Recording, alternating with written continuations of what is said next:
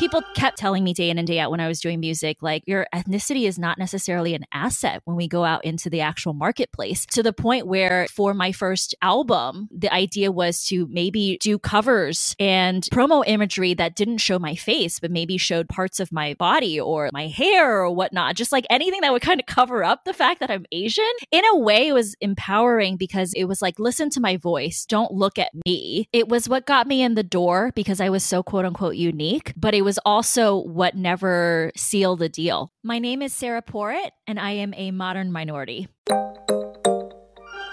Welcome to Modern Minorities. This is a show about work and life, told through the lens of what makes each of us different. I'm Sharon Lee Tony, a Chinese American girl born and raised in New York City. And I'm Raman Segal, an Indian American boy who came from Alabama with a banjo on my knee. Through conversations with some really interesting people, we uncover the stories, perspectives, and often unspoken truths about how our guests uniquely experience the world.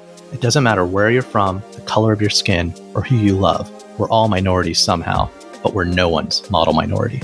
This is a show about all of you, for all of us.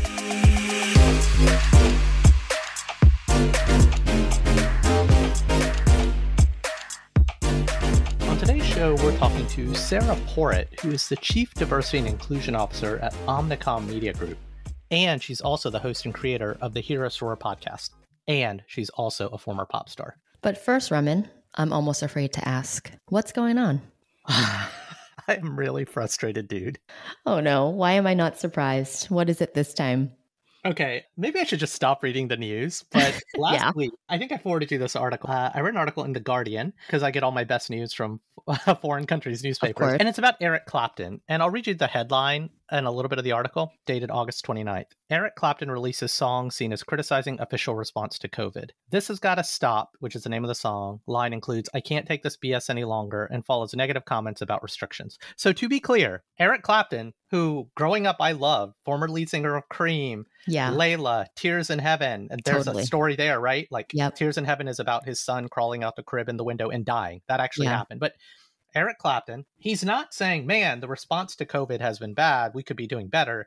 He's saying, how dare you make us take vaccines? How dare you make us wear masks? And to be clear, this is not my, this is why we can't have nice things argument, Sharon. Because the more I started thinking about it, and I'm pretty angry at Eric Clapton and Van Morrison and the other singer songwriters who are, I don't think, behaving responsibly with their platform, I kind of flipped it on its head. You know how I feel? I love Colin Kaepernick. I love Yep. that he decided to take a stand or took a kneel for something that's right. Yep. But people on the right highly criticized him for, you know, stay in your lane, just be an athlete, which I don't agree with. I'm like, use your power responsibly. Like people Yeah. listen to you. You have this platform. So how is that any different from what Clapton's doing? I'm genuinely conflicted here because, like, Yeah. while I'm angry at Eric Clapton, it's like, how is that different? I, I don't know, dude. Well, let's explore this a little bit, right? So, Eric Clapton did get the vaccine. He reacted negatively to it. And that's part of what inspired this song. Yeah, but all most of us who did get the vaccine, I was knocked up for a few days. I was Yeah. it was terrible, but it was the responsible thing to do. I didn't go bitch about it on my podcast that nobody listens to. but you're also a big proponent of the vaccine. Like, you believe that everybody should be getting it. You get upset when people don't get it. If he was on the fence about it and then he got it and he maybe he felt like he was going to die from it. I mean, I don't know the details of how bad his side effects were. Maybe that made him question the whole point of all of this and whether or not that was necessary. Well, I mean, again, a lot of us going in know that there's always side effects to these things. And in Clapton has referenced extensive scientific research, which has found vaccines on offer in the UK to be safe. He calls that propaganda. And so this is kind of like that fine line because it's like, I get it. It's okay that you had a bad experience with it. I might Yeah. argue kind of keep that to yourself. Like I didn't talk on all my podcasts about how you know laid up I was because of my vaccine because that could scare people from getting it Sure. because the responsible thing to do for our kids, for our parents, for all of us is to collectively kind of do this. And again, it's not a, the question is like, why is it okay for me to be mad at Eric Clapton for using his platform to voice an opinion when I get mad at people for getting mad at Colin Kaepernick Yeah. for using his platform to voice his opinion? Yeah. And I think that's human nature, right? So if we take a step back, vaccines or no vaccines, it's because you are on Colin Kaepernick's side. So whatever he says, you agree No. with? No, I disagree. I no no no no no. He could he could like say that Warrior is not an amazing TV show, and I'd be like, Colin Kaepernick is an idiot. True. Uh, I, I'm on the side of the issue that he's on. I'm not blindly behind. Like I love Eric Clapton's music, and I'm not a sports fan. To be clear, Right. Right. like if anyone like not knowing what their stances on issues were if you were like yo Rumman who would you rather have on your podcast colin kaepernick again not knowing their stance on issues nfl athlete phenomenon colin kaepernick or former lead singer of cream and rock legend eric clapton i'd be like eric clapton all day long i want to know what comic books he reads but it's not about the person it's about the issue Yeah. Yeah. I hear you. I mean, it's, I think it's a complicated thing. And, you know, my own personal experience has been I'm fully vaxxed now, Raman, by the way. Um, congratulations Thank you. Thank you. thank and thank you for doing it for all of us and I actually had very little side effects, even with the second dose. But it was one of those decisions where it took me longer than I'm willing to admit to raise my hand and say, I'm, I'm willing to do this. And th- there's just a lot that goes into that. And I've been able to rationalize that with my children, like when it came to making decisions about their vaccination schedule and how we would approach that. We actually decided to delay their vaccines quite a bit until they needed them for school. oh Um, no, you're talking about not covid but the other ones Yeah, just regular, Okay. like, you know, regular pediatric vaccines. So anything that wasn't mandatory was pretty much just delayed or even f- completely like omitted from their from their Can I, can I ask you that? That's an interesting question. So, but if it was mandated, you would do it. That's right. Yeah, and I think that's where we get into the crux of the argument of should the COVID vaccine be mandated, right? Because I think if it was, we'd have a, A lot of a lot of lot the on the fence people- people. Yeah. right. on board. I have a close friend in Cincinnati. We were having an argument about alcohol and marijuana and marijuana legalizations is like a decade ago, and he was like, even though you know all the stats about uh, why marijuana is less bad than alcohol, drunk driving, dress, you know, no one's getting stoned and having accidents in the car as many, right? And he's like, yeah, but one's illegal and one's not, and that was Mm. his argument. So like, oh wow, so it's not the science or the data, it's what's legal. And he's like, yeah, because I kind of trust the government. And, and this friend is kind of like a, a right leaning friend, not super Trumpy, but just kind of like Mitt Romney, Republican. And I was like, wow, okay. So if the government says it, you trust in the government to have made the right decision. He's like, yeah. So it's kind of like that's why I'm like, as much as people are going to bitch and moan about mask and vaccine mandates, it's like, yeah, but those people are going to bitch and moan no matter what. Right. But uh, there's a large group of people in the middle who are just kind of waiting for the law to be declared. hmm And that sounds like your point of view on this on vaccines with your kids. Yeah. Yeah. At least with their pediatric ones. Because there were a couple of vaccines that they could have gotten when they were really, really little, like infants, that Hmm. eventually they never needed again. And so that's what makes me question some of what's recommended. Um, but what if Eric Clapton made a song about which ones were recommended? Or no, or what if Colin Kaepernick? Like, let's uh, flip it. Like, what if in uh, so, uh, so let's say the law there's there's no legal standing. What if a celebrity that you genuinely admire and respect came out for or against it? that's the part where I'm with you, where this is scary. Like, not, I, personally probably wouldn't be swayed either way by a celebrity, but when you have strong voices with big platforms that and, and people who you trust, when you have people who you trust, whether that is the government or celebrities or anybody telling you that this is how you should do something or telling you that this is good or bad, that's where it gets scary. Well, fortunately or unfortunately, I don't know if people trust us, and I don't think we have a very big platform share. so why don't we get back to this week's episode where we're talking to Sarah Porritt, who's the Chief Diversity and Inclusion Officer at Omnicom Media Group. She's also the host and creator of the Hear Us Roar podcast, which features inspired conversations with fearless Asian women. And she's also a former pop star. And she's also another woman in your life. You know, if, if I could talk to Teen Rumman and say how many amazing women I get to work with, uh, I then have to clarify that I just am inspired by the really rad women I get to work with on a day to day basis. You've told me so many amazing things about Sarah in the last two or three months since you've been working closely with her. I feel like I've gotten to know her very well and was even more impressed with her in our conversation. Yeah, and what I love is her story.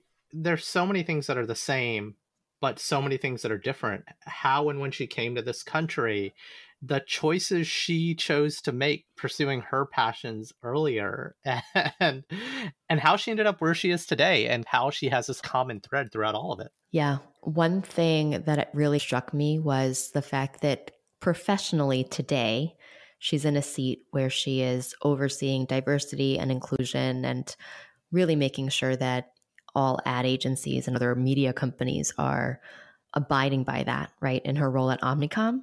And I think that really stems from so much of her own experience and her adventures. And I'm calling them adventures because I didn't know what to expect when I had heard about Sarah. I kind of put her in this box, right, of like who I thought she was or the types of experiences that she may have had. And this conversation took us all over to so many different places and in so many different realms. And I well, yeah. So to my sister, this is not a conversation with a marketing person.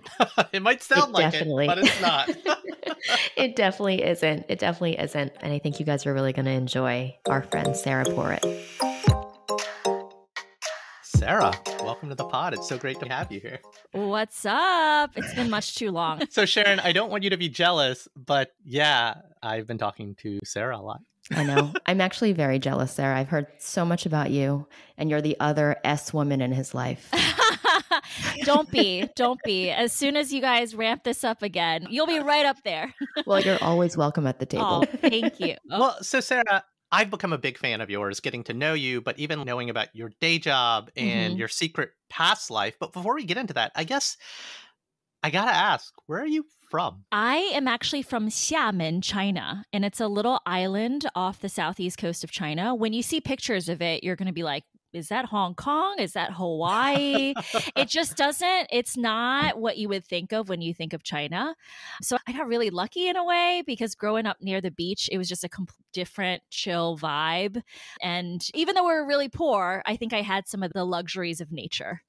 So I got to ask the ignorant American question that I'm sure is a follow up when you say that. But you don't sound like you're from there. Your name doesn't sound like it's Chinese. What what's up? Well, what's up is that I think that it isn't like the cutoff to to learn a language and not have an accent. I think is around like ten years old. You two probably know a bit more about childhood development than I do. So I came here when I was eight. So I thankfully didn't have an accent when I first learned English. And I, I actually didn't know a lick of English before I came here. Wow. And wow. was born Chen Baiyu. Wait, what does that mean? Sorry. But Baiyu actually means white feather, and it comes from a poem about an arrow that shot through stone. Wow. So that is badass. My, par- my parents really were, were very artistic about how they came about my name. well, that so I don't talk about my kids that often and, and, specifically their names which i won't mention but like i now have a second and we gave them chinese middle names because they're half chinese and the literal translation of my elder daughter's middle name is uh, Jade Forest. And Ooh. so when we were coming up with my son's middle name, a good Chinese name that sounded right by Western ears, sounded kind of Chinese, but literally translates to Jade Wolf. So we have like Jade Forest and Jade Wolf, and I always thought that was cool. But Wait, I think White Feather is kind of. What's the story behind that? Now you can't just leave us with this parrot. this is about you. I know it's just the root of the name is my wife's maiden name.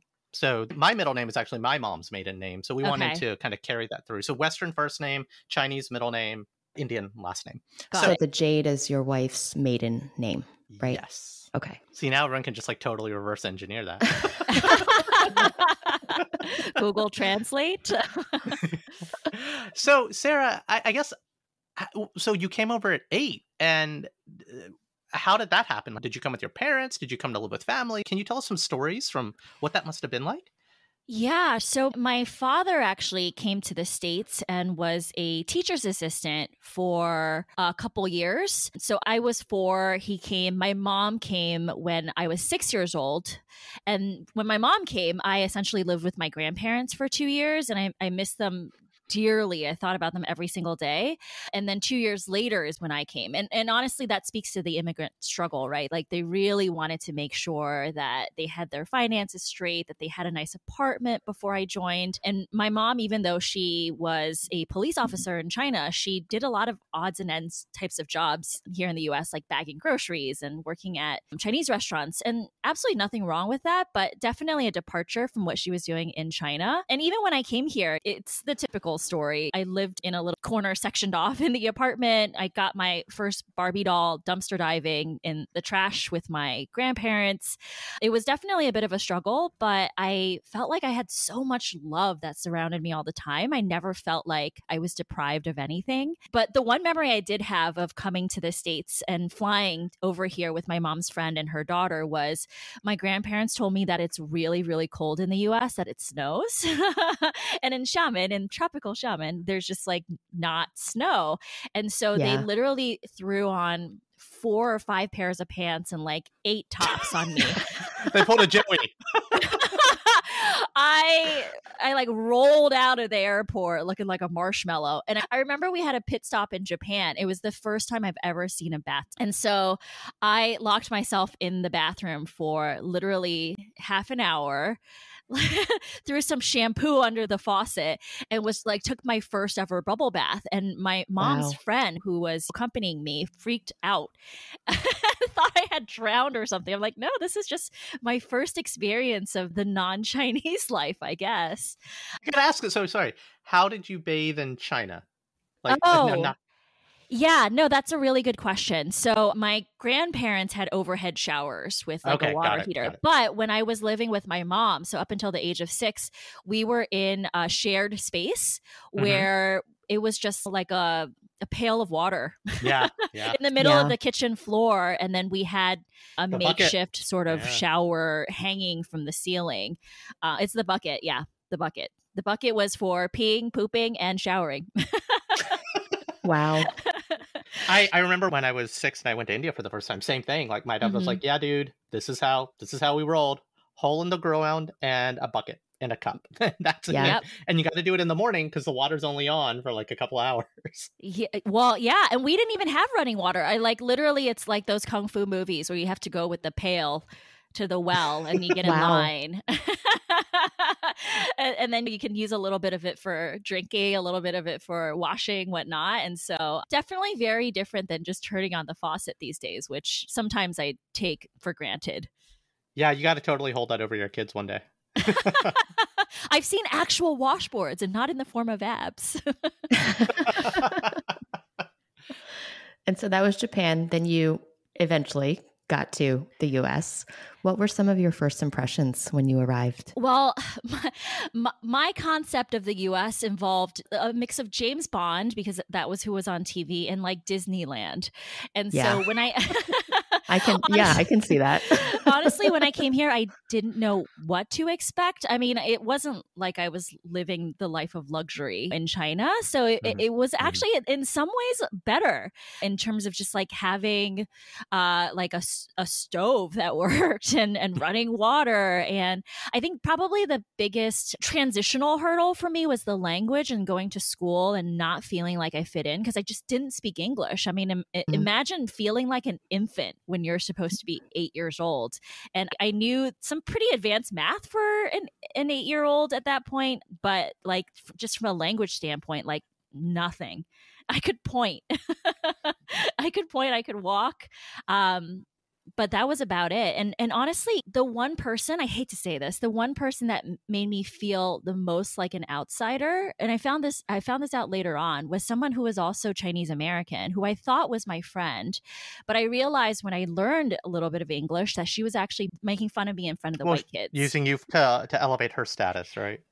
What I, kids do, probably what I mean, whatever it was, I didn't like it. but I, I, would say that a, a, lot of the kids around me, they did support me. Like they tried to teach me to read, and they were just really, really sweet in helping me get acclimated to the atmosphere. And so, were you in an ESL class or anything with other kids that were also learning English? I was. Those were the yeah. first words that I learned. I have to go to ESL. I think I used wow. that whenever I just wanted to leave the classroom. and then and then later on it was I have choir. nice. So you're this little girl who comes over, mm-hmm. and you clearly know more math than English. and uh, what what did you want to be like? Uh, did that change from what you wanted to be when you were growing up in China to once you got here and were surrounded by this difference and this kind of ocean of newness? Like, what does little Sarah? What did she want to be? Raman, what I want to be changes every year. um, I, it's definitely been an evolution. I mean, I think in when I was in China, I I wanted to be a soldier in the communist army.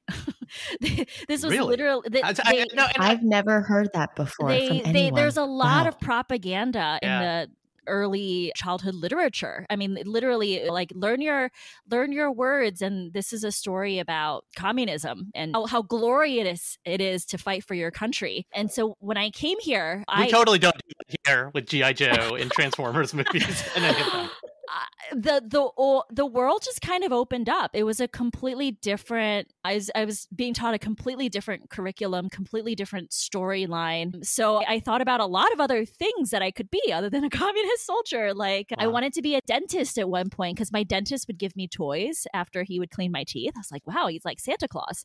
Uh, and then at one point, I got really obsessed with the Weather Channel because it felt like magic. Like you could predict the weather for the next day. I could be so prepared. I'm such a planner. I could be prepared to like to bring an umbrella and know what to wear. I wanted to be a, like a weather woman on TV. And I cycled through a lot of those different things until I realized, okay, I want to be a musician. I, I love to sing. I love American music. There's just so much more soul in it than the music that I was accustomed to in China. Like that's what I was really drawn to much later. And we hear you used to have a thing for Mariah Carey. Is that true? I still have a thing for Mariah Carey. was, she, was she like the first one that like cracked open your brain and was like, oh my god, like that? Or who, who were some of those early impressions i guess? Mariah tlc whitney houston Boyz II Men just like that really good 90s r&b and then later on when neo soul became a thing it was like jill scott floetry Musiq Soulchild. I don't know there was just like i i i always felt this like depth of love that I've had in my soul, and even as like a young child.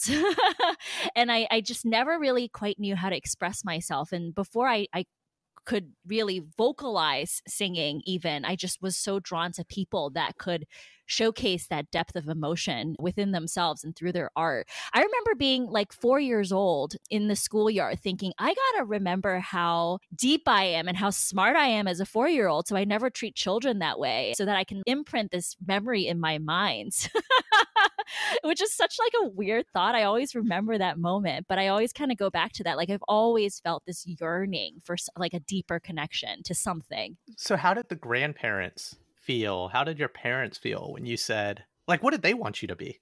Like cuz I don't think my parents were cool with some of my I hate to say this, like the loftier things because of the immigrant story. Yeah, it's it's the same. But what I had going for me was that my parents were both musicians. They're still musicians in a way. My mom was an amazing singer. Wow. She she's much much better than me. My dad plays the saxophone, the bamboo flute. He still has concerts and he's wow. actually a music teacher now. They actually met in college because of music. And I found out later on that he got reprimanded for playing at a jazz club when he was teaching at a university. And so I, I think that in a way, right, like they wanted me to follow the straight and narrow, the model minority dream. But in a way, too, I think in the back of their minds, they were living vicariously through my dreams. Now, the way I kind of justified it was I knew exactly what they wanted me to do. They wanted me to go to college, they wanted me to have a nine to five that was stable and well paid, they wanted me to get married. so I did all those things. But in between, I lived my Sasha Fierce life where I quit high school twice took time off before going to college. Half the time I was in school, half the time I was in New York, VJing, doing music. And even throughout my media career, which is what I'm focused on right now from a diversity perspective, I very much was still an active musician doing gigs, marketing myself, doing PR, auditioning for shows. And so I think that was kind of like my personal justification. I just kind of did it. Knowing that I was doing what it is that my parents wanted in a way, but also doing my own thing. So you're a rock star? That wasn't, I mean, that's kind of in your bio, but you were literally like a music artist, like a I mean, pop, pop, star, technically. Pop star, pop star. Pop star Hardly. Star. Aspiring R&B artist. and VJ, because awesome. I just like to talk. And you were a VJ for MTV, right? MTV. MTVU, which was MTV University. Yeah. So it was for their equivalent of like a TRL. Still very cool. Oh my gosh. Thanks. At what age, what age does that start? Like for you, like from the moment you're like, I like doing this, I'm going to do this on the side. To oh, this is the main thing that I'm doing. Like w- for some of us, whatever that thing is, Mhm. either happens early or happens late. But it, you were threading that needle, or you went full on into it. So how did that happen? When did that happen? Yeah, it was definitely a progression. And I think that I- I really started to get into it, believe it or not, it's all tied together with my day job, when I realized the power of digital media. Because I was in a girl group when I was just for like fun. Like we got together for sleepovers during high school, and a, a- bunch of Mhm. my friends and I had started a little singing group and we recorded a, a rendition of Amazing Grace. And somehow it got picked up by the Washington Post online. I guess back in the day, there were just like nothing online. So they're like, oh, this is interesting. A bunch of like Asian girls at uh, a sleepover and th- this song came about.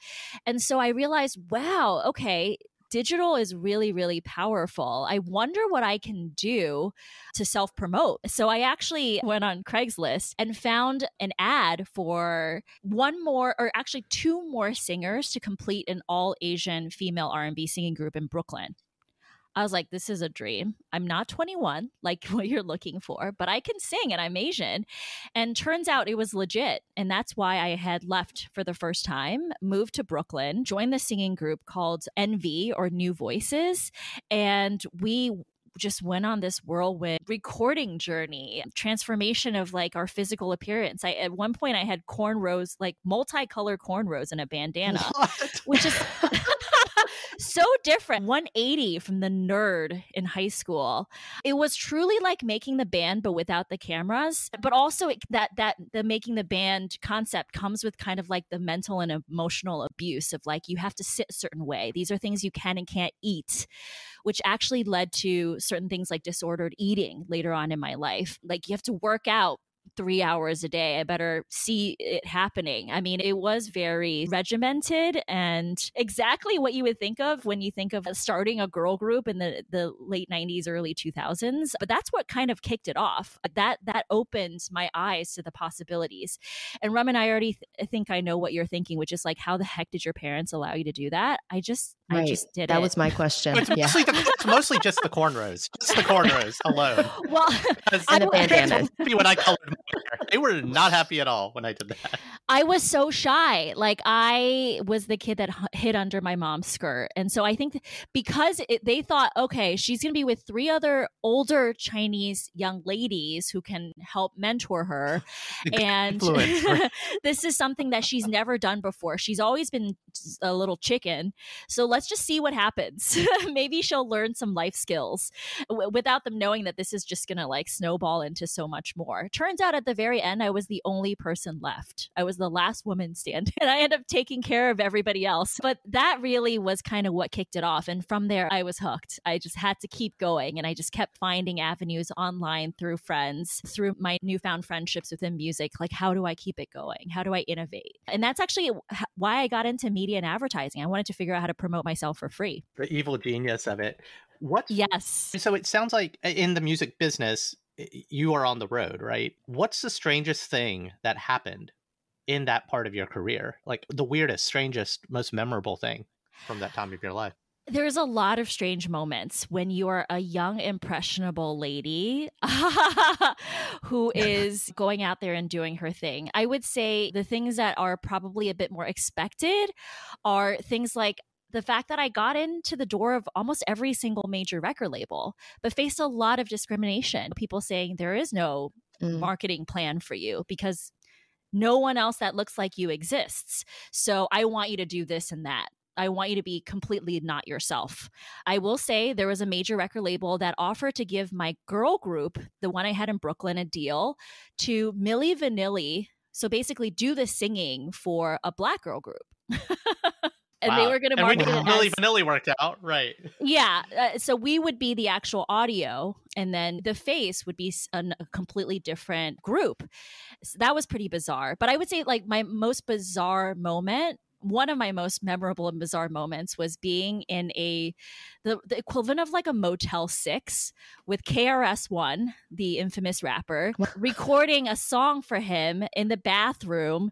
And like uh, a lot of studios were kind of jerry rigged back then. All you really need mm-hmm. was good sound equipment a lot of sheets and blankets. So i remember there were like mm-hmm. blankets stapled onto the walls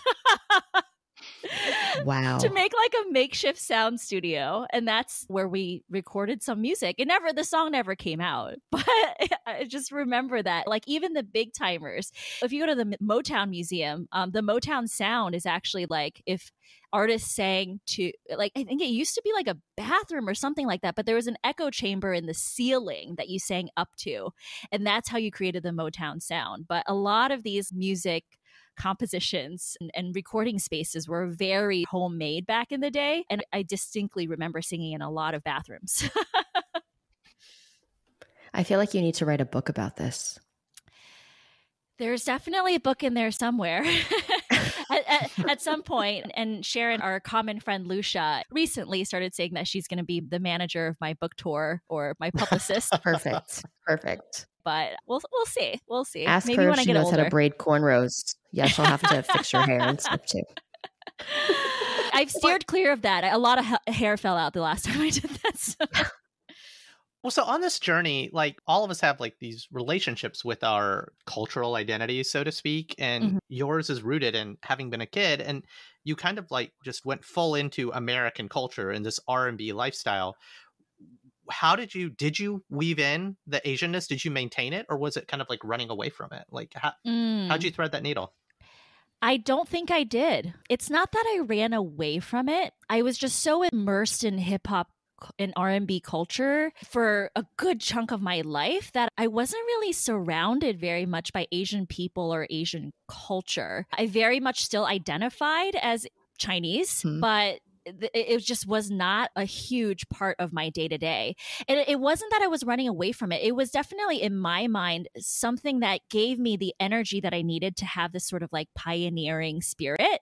Like I want to be one of the first. And even if I'm not one of the first, I want to be building the foundation for the first Asian person to be doing music at this scale. So that was a motivating factor. But in terms of just the day to day, people kept telling me day in and day out when I was doing music, like, your ethnicity is not necessarily an asset when we go out into the actual marketplace to the point where for my first album, supposed album back in those days, the idea was to maybe do covers and promo imagery that didn't show my face, but maybe showed parts of my body or like my hair or whatnot, just like anything that would kind of cover up the fact that I'm Asian. And I understood that from like a marketing standpoint, but I also, in a way, it was yeah. empowering because it was like, listen to my voice, don't look at me.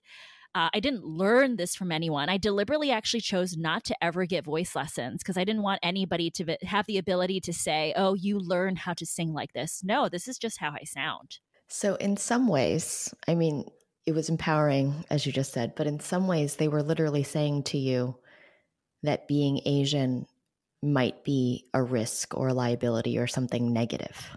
Oh, absolutely. Yep it was what got me in yeah. the door because I was so quote unquote unique, but it was also what mm-hmm. never mm-hmm. sealed the deal. That no, no one inked right. anything because they didn't think they, anybody would ever. Yeah, and they didn't exactly. think anybody would ever um, exactly want to buy exactly. it or that it would appeal to anyone. Right. And this was right around the time when record labels really started getting really rigid with their contracts with artists because people were making money from endorsements from movies. And so th- that's yeah. when the 360 deals got introduced. So it was no longer about, okay, we'll just take a risk on something that's unknown, put a bunch of money behind it because we can and we're a record label. Um, uh, Tower Records was starting to fold later on in that conversation. So, like, digital was taking over. People had a lot more options. Artists were making money in different ways. So, they were really scrambling at that point. The labels were, were scrambling to figure out okay, what is my business model? And is this a risk I'm willing to take? And in most instances, it was a hard no. In some instances where it was a maybe, I just wasn't willing to compromise. Yeah, I, I feel like back in that time, and we're still kind of living it, but the barriers Mhm. to entry have fallen. But there's kind of like this first mover advantage. The whole world is changing, the sands are shifting beneath us. And the first artists, comedians, entrepreneurs who can jump in on the new tech, figure it out, and get that first mover advantage. But everyone else is just like you're getting left behind, and sometimes those, those Right. big companies. So, so your hack, your professional hack was, okay, I got to get into this media industry, and you did that. And I guess that's interesting. But what's more interesting is the pivot or, or kind of the evolution of your career once you got into the the media side of the game into DEI. Like you have a pretty big day job running like DEI for one of the world's largest advertising or media agencies. Like how did that happen? Like how did you not fall into the media agency world, but how did you like start evolving towards the DEI work? What it's it's the slashy in me. Um, I, I've Wait, always what, is, what been, does slashy mean? slashy means we're a group of people that are one thing slash another thing slash it. another thing, and so I can I I just always multi hyphenate now. yes yes yes i i have i have the itch always and the nine to five is fine and dandy. It was creative in some ways. It got me thinking about different things. I was still challenged but in a lot of ways i still itched for something more and i think i realized later on in life that it wasn't just about my love of music it was about the love of breaking barriers and shifting storylines and that's really kind of what my podcast Hear Us Roar is about. It's really just to kind of introduce new potential into people's mental storylines about what's possible for themselves. And so, even though I was doing media strategy and investment for my nine to five, I think I, I had always wanted to go above and beyond that. And and outside of just doing my music thing outside of work, I brought purpose into my work in some ways as well. So, really starting off with launching a, a wellness program for my agency, launching some of their efforts from a nonprofit CSR standpoint, because I was really trying, and I always am, just really trying to find purpose in everything that I do, even if I don't find purpose in the minutia of the day to day. And so I got very much ingrained and deeply involved in the culture of the, the various agencies where I worked. And then naturally, I think when DE and I became a necessity within large companies, the CEO said, Sarah's already doing this work. She's already been doing it for us on top of her day job. So, who better to take on this type of work? So, when I was working at my previous agency, OMD, which is an agency underneath uh, Omnicom Media Group right now, which is where I do my DE and I work. I, I started leading up their diversity efforts. And obviously, I had to raise my hand for this job when it became available and open. And here I am as the Chief Diversity and Inclusion Officer. And I think it just marries my two loves a lot more the two passions, my day job, something that I've been really honing in on and cultivating, but also the fact that there is always this element of wanting to make others feel like they can accomplish whatever it is that they want to accomplish, empowerment in that diversity and inclusion. And that's what I do day in and day out. So, what better than that? Because I've always lived separate lives and now it's much more conjoined. Well, so what I love about that, Sarah, is in your career in the nine to five, you felt maybe not empowered, but you were like, screw it. I want to make this change in the world. I'm going to try to go make the change on the inside for the things that I care about culturally. And I found like that's the best success. Then people are like, oh, well, you're already doing the work. Let's make this a thing. But the other thing I love, and I- I see a lot of myself in what you're doing, because while the podcast you have here, Roar, on the surface is very different, the motivation is the same. It's like, I Mhm, see this change that I need to see in the world. And sure, I can do it with my day job, but there's this other thing. Why can't I accomplish that? And that that's what I've loved about the few episodes that I've gotten to listen to. So, but I guess in your own words, like, why'd you get into podcasting? Like, what gave you the itch? Or why do you get up every day to do your show? Because we all have too many other things to do, right? Yeah, the itch is because I'm always really itchy. I'm just an itchy individual. And I hate to say it, but being a quote unquote pop star has an expiration date, just like modeling, right? Like I acknowledge the realities of that and I miss singing. I still do music here and there in pockets, but I think what I also missed about singing was this feeling of being able to empower others to dream bigger. And so podcasting just felt like the perfect form for longer form storytelling. And my podcast isn't about me, it's about everybody else who mm-hmm. mm-hmm. breaking barriers. And I, I felt like it was just a way for me to continue doing some of the work that I had originally started because. I mean, music's not easy. All all the no's, all the the closed doors, the money that I was spending. I didn't I didn't get to have nice things. And so I wanted to continue moving that mission forward, and podcasting felt like a, a natural progression. And I had all the audio equipment already. I, I know right. how to edit. yeah, it's it's just right in front. There's literally nothing to fear when it came to actually doing the podcast themselves. That's when I really fell back in that recording groove and that storytelling groove. It's funny. Sharon and I talk about this a lot because we're finally getting back in our groove after taking a few months off for my second kid, but we, we text and we talk and we're like I miss doing this. It's like a thing that, and motivations are similar, I think, for sure. But po- I get more out of this pod for me, even though it's for the audience. But when I don't have it, when I'm not hearing these stories about others, like I feel like I'm missing a part of myself. It's like a weekly dose of inspiration. I mean, yeah, really, yeah. totally. And I'm sure you two get the same thing, but like once in a while, this happens with the pod and also with my music career. Once in a while, you get like an email from someone being like, oh my gosh, you totally changed me. yeah, yeah, we actually we love those. We love those. I, mm-hmm. I literally just got off the, the phone with someone who works within Omnicom who said my chief diversity officer shared your information with me. I literally in the last week and a half listened to every single episode. and I know everything about you. I'm also from Xiamen, China. and I'm starting like a charity. I'm going into the media and advertising world. Can we have a conversation? Like you are totally helping me to to rethink about my life and my career in a different way. And so it's like so empowering. Just like when I was doing music, I would get notes and emails here and there saying, I've never seen someone who looks like me on TV doing what I want to do with my life. You've given me the okay, the green light, the encouragement to pursue that.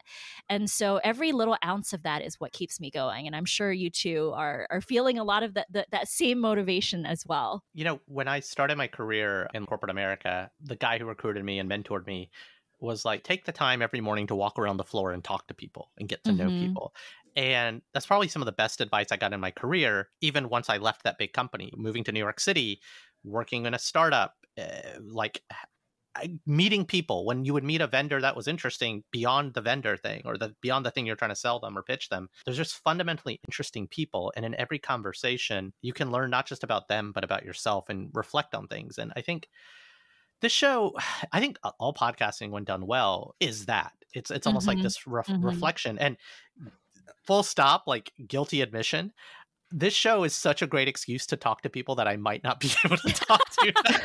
like it's before, Same. like an an author I admire, I can email them as a fanboy and be like, "Hey, I really like your work. You want to get a coffee?" And they'll be like, "Uh, hell no." Versus, "Oh, I have a podcast about race and gender and blah blah blah." it's the exact same for me, Roman. and for that, and those and those episodes, sure, it's about the guest, but it's like mm-hmm, mm-hmm. it's kind of like a perk of it, and it's right. not about it's as we've been thinking, like I still want to talk to people that I never would have thought to talk to, but right. at the same time, like right, right, right, right, right. Oh yeah, there's people I want. I'd love to. Why not? I, I have this mm-hmm. like more cavalier attitude about the why can't I go have a conversation? Why can't we broach that topic and make Sharon cringe in the middle of the conversation? As Sharon cringes. As I cringe. exactly. It's all about me cringing. Oh my gosh. If Sharon's not cringing or crying, we're not doing our job. That's true. Show. Stop it. yeah, it's very true. so let's pivot to personal matters. You've family life and and other things. Like how has that changed as you've morphed from being a pop star to now being a corporate guru, making big changes in the industry? And what's your life like at, outside of the office? Honestly, it's not that different. I'm still slashing away, staying really itchy. It's not that different. I would say that my parents have probably a little bit more faith in my vision. Yeah. Because they were always like, What's media? Mm-hmm. Are you going to make money from that? So Yeah, do you we- make the commercials?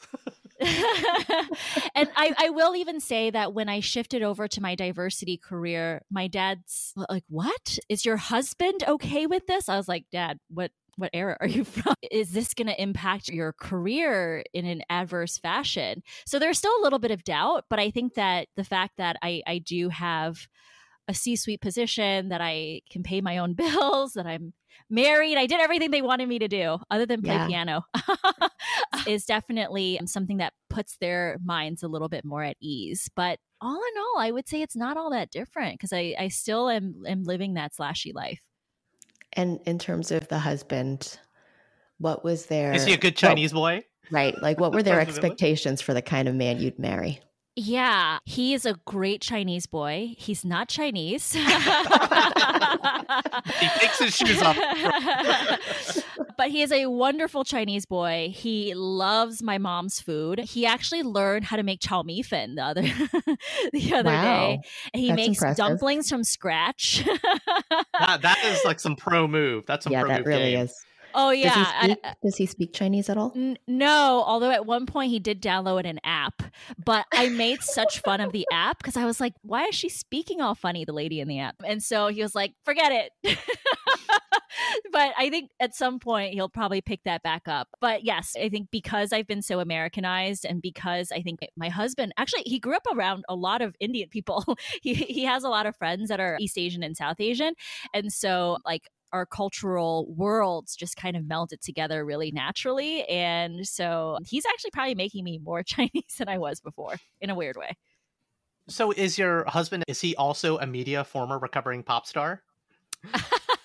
Not at all. He actually works in real estate. So, very, very different. I think he respects what I do from a music standpoint. He's actually a huge music head. So, one of the things that actually gelled us together in the beginning was just like going to cool concerts. But I, I think that definitely sort of like the music world was a little bit foreign to him, especially when we first started. But I mean, I think because I have been doing music much more behind the scenes these days, it feels less weird or odd. And from a media standpoint, that's a little bit more digestible than having cornrows and going out to album release parties at night. But but no, completely different worlds. I think his industry is a lot more old school. which is another way in which we kind of balance each other out, which is nice. So if we were to go all the way back to maybe the moment that you maybe the bathtub in Japan or maybe the cornrows, but if you were to have a conversation with your younger self, what is something you would tell her today? I would tell her to stop beating herself up. I think a lot of that sort of loneliness that I felt, I definitely went through bouts of depression in high school. I had uh, my hair started going white and it actually came Oh my gosh. back to health. I like Benjamin buttoned a little bit from high school. And between some of the sort of like self-loathing with the way that I I looked and felt about myself, I think a lot of that was just trying to fit in.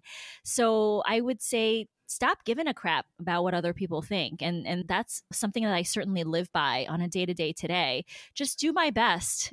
Try, try to be a positive influence. Stop caring about what other people think. And that's when I think I feel so much more settled in my own skin. And I think it's it's mm-hmm. really hard to tell someone that until they've gone through the life experiences and have realize the who ringer. they Yeah. are. Exactly. So it, it would it would sound like bullshit to me. Like, "Old lady, you don't get Yeah. me. But maybe what I would say then is is one day this will all not matter at all and you'll feel really good about who you are chip tooth and all and your hair will grow back to health so it's just to care a little bit less wherever I was caring a little bit too much that's all yeah, that is probably the best advice. Like once you can let go, and Mhm. even it's something I carry so many of my anxieties from my youth, and they pop back up. But the thing that gets me through them now is to think ahead 20 years from now. It's like, okay, Right. is this meeting going to matter or is reading to my kid going to matter? Which of those two things is going to matter in 20 years? And then once I can zoom back out, I can like just come right back in and be like, oh, okay, I don't give a shit about this, but let's just get through it. So it's powerful, but I, I think you have to learn it by going through the ringer. You have to have those bad, sometimes terrible experiences. Yeah, I'm so grateful for them, honestly. I just, I mean, imagine what I'm going to be like when I'm 80 and I really don't give a crap. if I don't give a crap now, it'll Such be a fun. great way to look at it. Such a great way to look at it. You're so right. Like, I feel like now that we're in our, well, most of us are in our early 40s, or at least I am, I feel like I've hit my stride and I'm kind of Mhm. like, okay, I'm I know where I am. I'm confident with the decisions that I've made. I've learned a ton of lessons, but you're so right. In another 40 years, I'm totally not going to give a fuck. We're gonna, be, we're gonna be so fun. We should all hang out. I, I really like, I have this other podcast where I do talk to older people, like most, because executives mostly, and they're Mhm. like a different class of people Mhm. literally. But there's a lot of more self actualization. And yes, money does that, but it's also age does that. And Yeah. I, even like when I'm on like a backpacking trip and I find myself on like a ferry to Uruguay or something, and I find myself sitting next to an old guy, it's like, I want to talk to the old guy. like Yeah. they're, they, they Mhm. probably have a much more interesting perspective or reason why they're on this ferry right now than me. So, yeah, absolutely. Sarah, we've covered pretty much everything and gone in a lot of places I, I didn't think we would, but yeah, I mean, we went from pooping to cornrows. what's, what's in between? I don't know, Sharon. What do you think? Do you think she's ready for speed round? I think you're ready for speed Oh, round, Sarah. Okay, hit, hit me.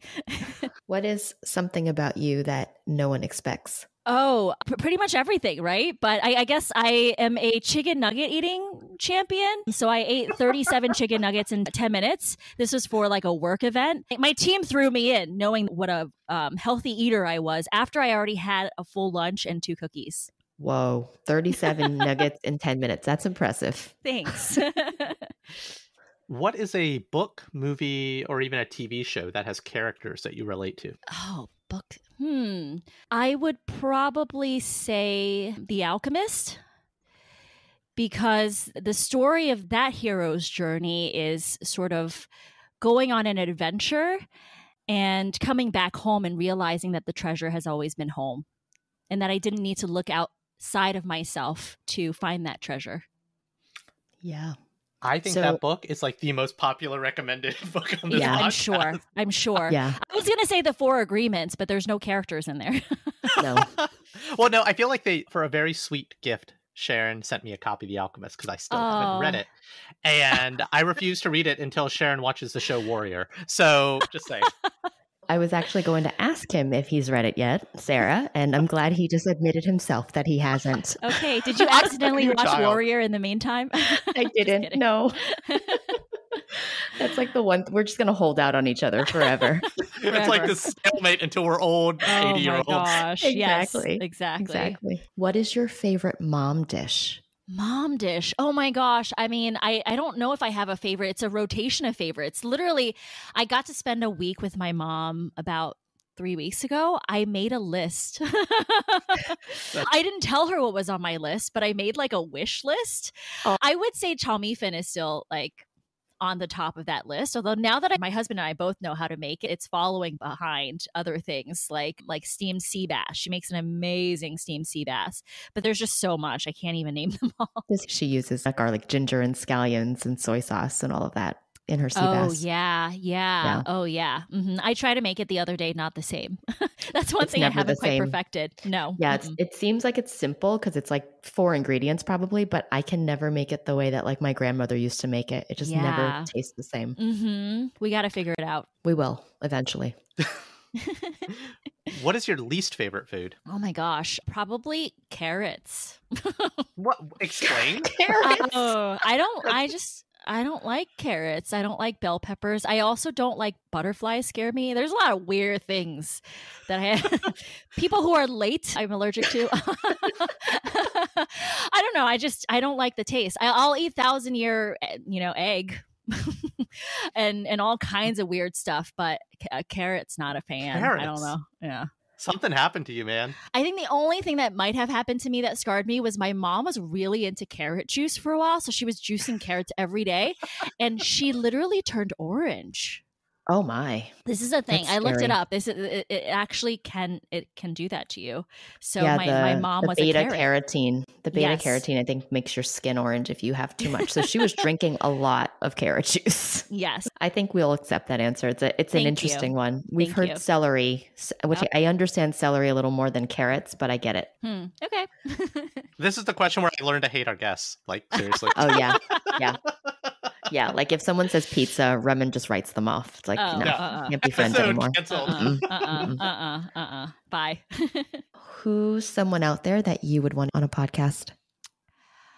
Oh, well, if I didn't have Hear Us Roar and if if I can interview anyone dead or alive, probably Anthony Bourdain. Oh my god. He's Mhm. just so fascinating. I mean, between the adventure and the food, and you just can't get better than that. And I think there's something intriguing about him because he you can tell he's like a troubled soul. The writing in the darkness, exactly. And so I just feel like that would be such a fascinating individual to talk to and to dig into if he ever allowed someone in. I mean, back in the day.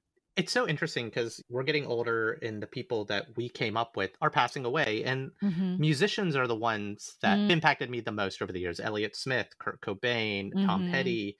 But Bourdain was one of the few non-musicians that Mm. with news of his passing because of like he spoke to us during kind of like this formative moment when we were exploring and he was a little further down the road than us and it just like hit me in the gut so hard Uh, Yeah, I I mean, I don't know if it was like hormones or PMS. I cried.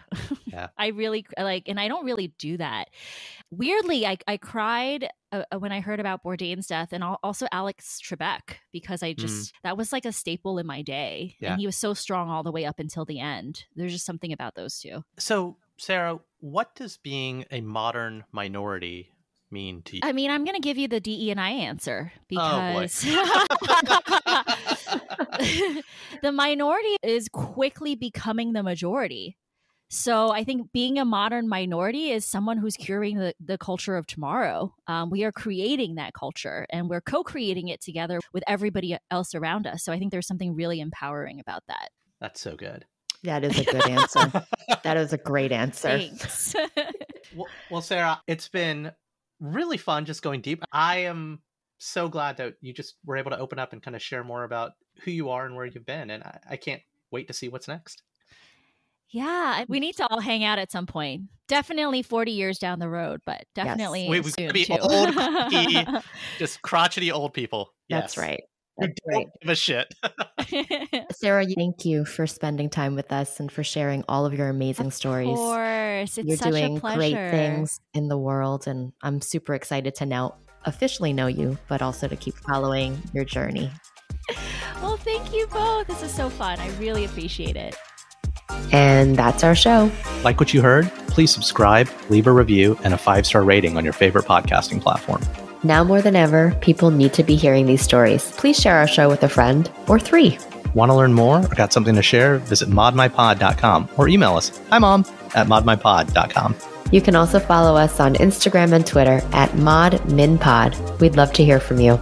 Now, here's a preview of our next episode. Complex problems can be broken down into small steps. And so you actually don't need to figure out the whole thing at the beginning. I'm increasingly comfortable with the notion that I don't know it all, but I can figure it out. The toughest part for most people is to take the first step. And so I take the first step and I will continue to make forward progress until I hit something where I say this doesn't make sense. So I'm okay putting it aside, or I'll continue going until it actually becomes something. Uh, I find that oftentimes when we talk about uh, entrepreneurship, we see where the arrow landed and then draw a bullseye around it and say, this was my intent the whole time. Aren't I a genius? And that's very rarely true. It would enable a lot of people to realize that it's messier than they believe. That's it for now. I've been Raman Segal. And I'm still Sharon Lee Tony. Remember, we're all modern minorities out there. We'll talk to you soon.